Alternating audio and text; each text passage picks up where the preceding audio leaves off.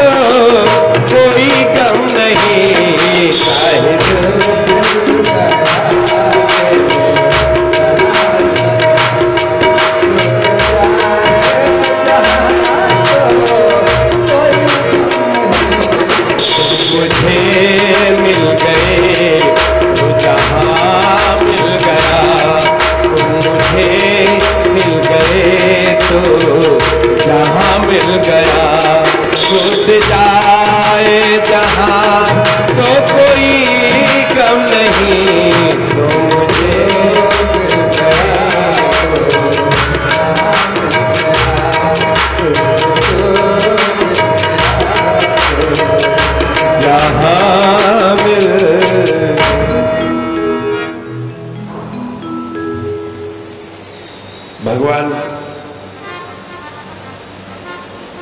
नगर को देखने जा रहे हैं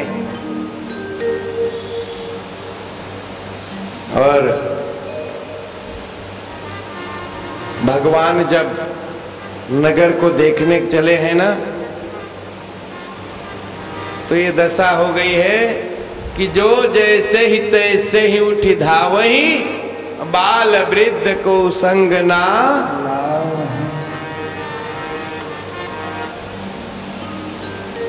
जब लोगों को पता लगता है कि परमात्मा श्रीहरि नगर में दर्शन करने के लिए आए हैं तो जैसा है जिस हाल में है, भागता हुआ चला रहा है। माँ अपनी गोद के बच्चे को लेके नहीं आ रही है, उसको उसी हालत में छोड़ दे रही है। बुड्ढों को नहीं ला रहे हैं, और धाए धाम काम सब त्याग। जो गाँव के बाहर थे महाराज, वो भी धाए दौड़ पड़े। धाम, घर की ओर। काम सब त्याग। धाए राम, काम सब त्याग। सारे के सारे लोग सब कुछ छोड़ करके राम के दर्शन के लिए भागे हुए चले आ रहे हैं। और जितनी जनकपुर की सखियाँ हैं, सब ये भाव रखती हैं कि एक बार प्रभु मेरे हो जाए, एक बार प्रभु का दर्शन हो जाए। और देखते ही देखते ही रघुवंश शिरोमणि ने कह दिया, जाओ, ये बार तो मैं किसी का नाम लिखवा के आया हूँ। द्वापर में जब मेरा कृष्ण अवतार होगा, तुम सारी ब्रज में जाकर के बालाएँ बन जाना, मैं तुम्हारी इच्छा को पूरा करूँगा। भगवान फूल तोड़ने के लिए बगीचे में जाते हैं। यहाँ छेपक है महाराज रामचरितमानस में। हास्य व्यंग है। नहीं तो भगवान के जाने पर फूल की डालियाँ खुद ही झुक जाती थी। और उसी बगीचे में महिलाओं के बगीचे में प्रवेश कर जाते हैं। राज मर्यादाएँ थी। महिलाओं का निवास, महिलाओं का स्नान घर, अलग पुरुषों का अलग हुआ करता था। गलती से बेचारे अनजाने हैं, महिलाओं के बगीचे में घुस गए। सखियों ने कहा, महाराज, कहाँ से आए? बोले, मैं परदेसी हूँ। मैं तो अपने गुरु जी के साथ आया हूँ। बोले तो आप यहाँ कैसे आ गए हो? ये तो महिलाओं का बगीचा है। बोले जी, चाहे महिलाओं का बगीचा हो या पुरुषों का, मैं तो सिर्फ़ फूल तोड़ने आया हूँ। मुझे क्या मतलब? लेकिन नहीं। कि मिले थे राम सीता को, थी सीता राम को प्यारी।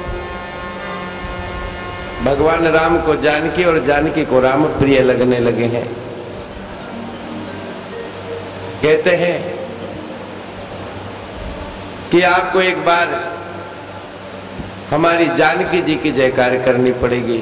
सखियाँ ऐसे कहती हैं, बोले जिंदाबाद, मुर्दाबाद का नारा लग ना आपको हमारे ग्रुप के लीडर का नाम लेना पड़ेगा, जिंदाबाद। तो वहाँ एक नज़र ही जानकी ने राम को देखा है और राम ने जानकी को देखा है। दोनों खो गए हैं। जानकी अपने घर गई है। और सखियों से कहती है, अरे सखी, एक बार फिर से उस बगीचे में चलना है। एक नज़र में एक बार देखते ही प्यार हो गया। एक नज़र में ही हम उनके हो गए वो हमारे हो गए। इनके लिए तो सब कुछ छूट गया और सब कुछ पा भी लिया। अब इनको पाया कैसे जाए? तो याद रखना, यहाँ आदि शक्ति जगत जननी भी कहा है कि जो कोई चीज़ तुम्हारे शक्ति से ना मिले तो आदि शक्ति से मांग लेना मिल जाएगा। तुम्हारी जब तुम्हारे परिश्रम की शक्ति से ना मिले तो आदि शक्ति जगत जननी जगदम्बा से मांग ले जानकी जी अपनी सखियों से कहती हैं, अरे चलो, बेचैन हो गए हैं, मन उच्चाटित तो हो रहा है। किसके लिए? राम के दर्शन के लिए। नींद नहीं आती कि जहाँ देखता हूँ, वहाँ तू ही तू है। न तेरी सी रंगत, न तेरी सी बूढ़ एक ही नज़र में देखा है राम को। बेचैन हो गई है और अपनी सखियों से कहती है, चलो कि चलो उस कहा? बाटिका में। चलो उस बाटिका में कल जहाँ दो नो कुंवर आए।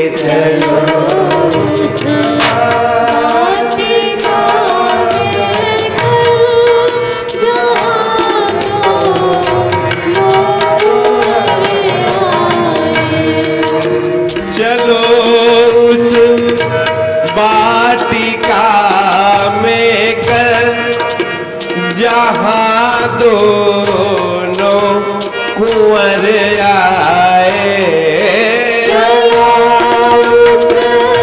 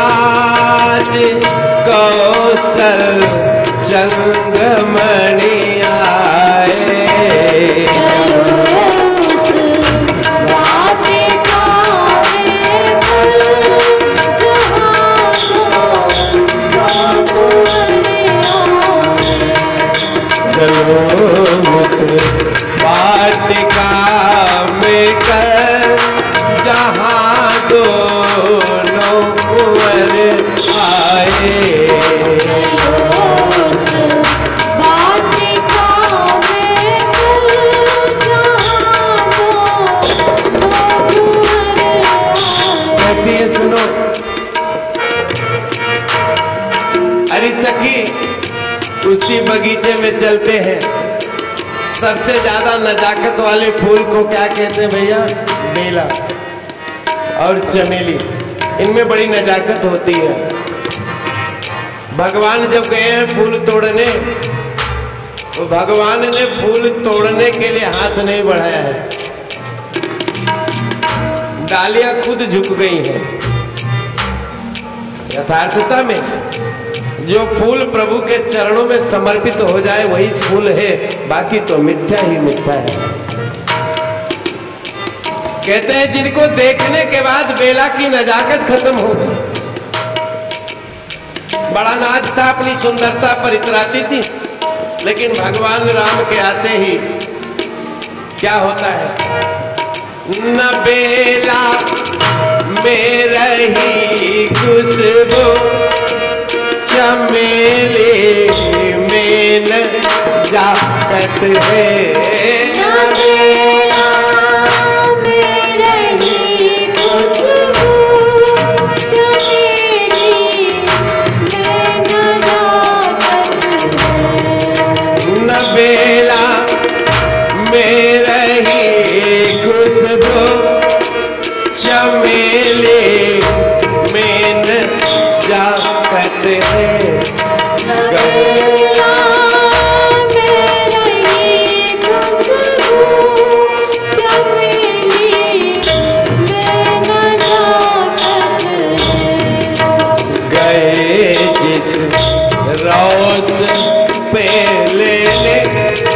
का मतलब डाली होता है।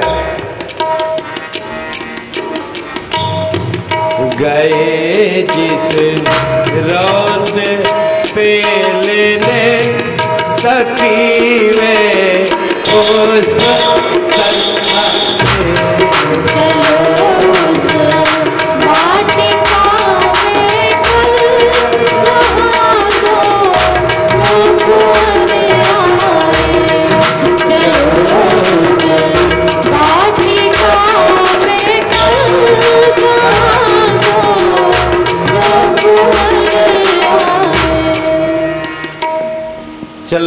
बाट मैंने भी एक पंक्ति कही थी कि जो आपको जीवन में आपके शक्ति से ना मिले, उसे एक बार आदि शक्ति से मांग लेना। यहाँ रामचरितमानस में शक्ति ने शक्ति की उपासना की है। आदि शक्ति जगत जननी जगदम्बा कौन है? माँ जानकी? और स्वयं वो आज याद शक्ति की पूजा कर रही हैं। जय जय जय। जय जय गिरिवर राज किशोरी। जय महेश मुख चंद चको